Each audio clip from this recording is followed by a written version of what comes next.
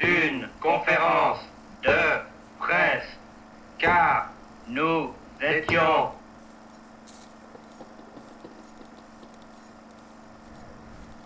Bobby, à cause de son histoire de.